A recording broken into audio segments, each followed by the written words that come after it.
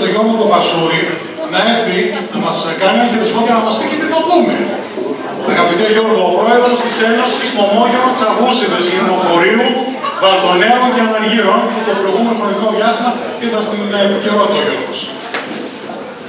Σεβασμιότατε πάντα τη Εκκλησία, οι αξιότιμοι κυρίε και κύριοι της Περιφέρεια του Δήμου, ευχαριστούμε πάρα πολύ για την πρόσκληση, Πρόεδρε.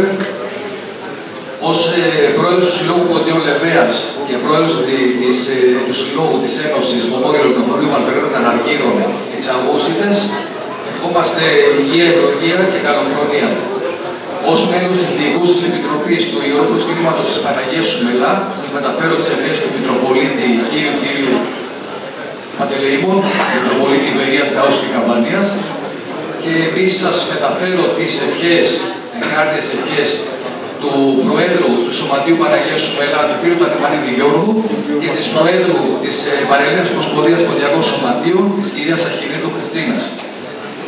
Θα ξεκινήσουμε με ένα χορό παραδοσιακό ποντιακό, χορός πιτσάκ ή αλλιώς χορός των μαχαιριών.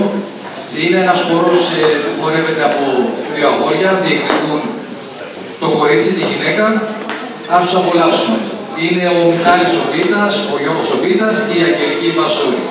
Στη, στη, στον Τάουλη είναι ο Δαμιανός ο Ιπανουηλίδης και στη Λίδα είναι ο Φανίδης και στη Λίδα είναι ο Ορφανίτης ο Παναγιώτης και ο Ορφανίτης ο Σοκράτης.